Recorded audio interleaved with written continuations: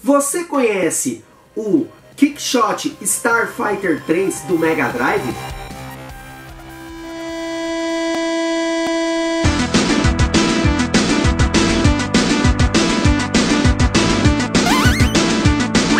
Brasil!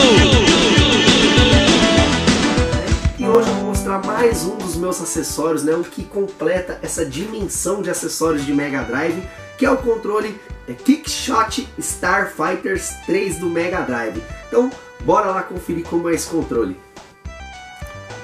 E eu gostaria de agradecer ao Alex da Game Tech Zone que me presenteou com esse controle. Valeu, Alex. Brigadão, tamo junto. Game Tech Zone sempre, uma vez por mês, a Feira dos Pássaros. Link na descrição.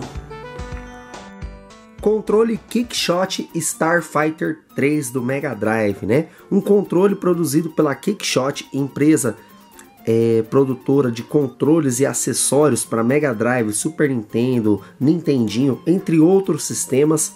Ela produziu diversos diversos periféricos para diversos consoles, né?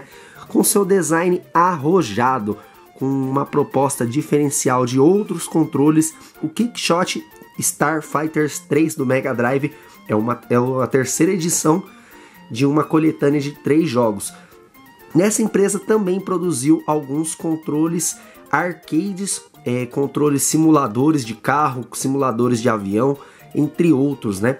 O controle se destaca porque ele, a parte de trás dele é reta e por incrível que pareça é confortável. Ele vem com o logo da empresa aqui atrás, produzido na China ele vem com apenas quatro parafusos, aqui não contém nenhum tipo de parafuso.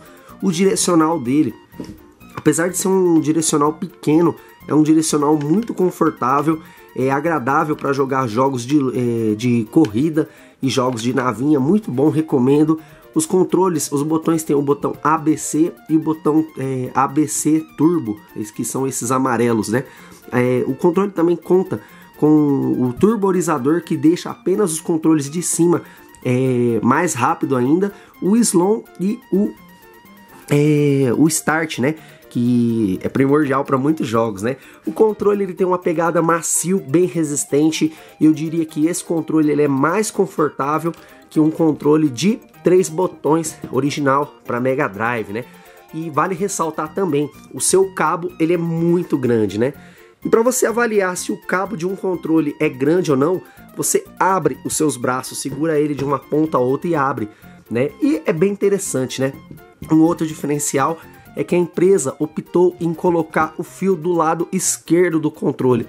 E também é, eu acho que é bem agradável assim, né? Vale destacar que ele tem um reflexo, né? Ele tem esse design aqui preto aqui que ficou muito louco, né? E essa parte que é fosca. Então fica aí é, a observação do o colecionador.